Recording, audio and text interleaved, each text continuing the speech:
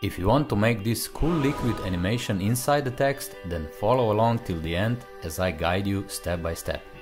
First import the waves in PNG file. You'll find the link to download it in the description. Then go to library and add this black video clip. Move playhead forward to around this position and click on this freeze icon. Delete the left and right part extend it to 10 second mark and pull down the waves above the black freeze clip. Go to this icon here and reduce the size by 4 times. Move to the right side and turn off uniform scale and increase the width to 150. Then move the wave to the left and click on keyframe on position and size. Move your playhead to the end of the wave. Click one frame back and drag the wave to the right side. And click on keyframe on position and size.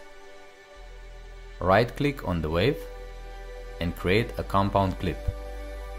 Go up to adjustments, curve and drag that brightness handle to the left side so we turn the color to the white. Now you can move the waves to the right side. Move playhead to the beginning, go up to text, add the default text and write what you want.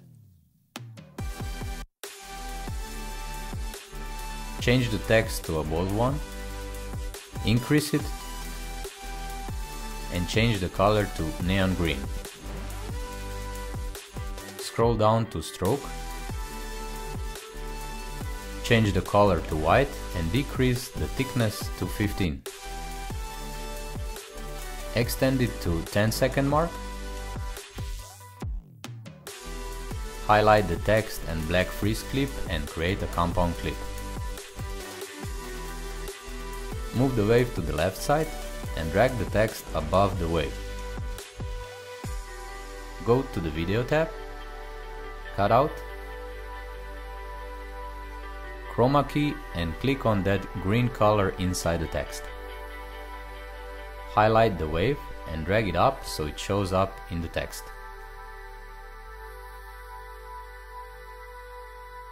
So if we play it now, we have this cool liquid animation inside the text.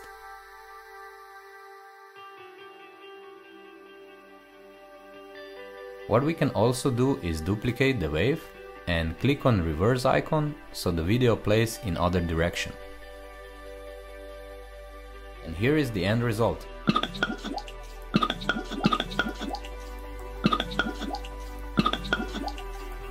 If you liked the tutorial, please don't forget to like and subscribe.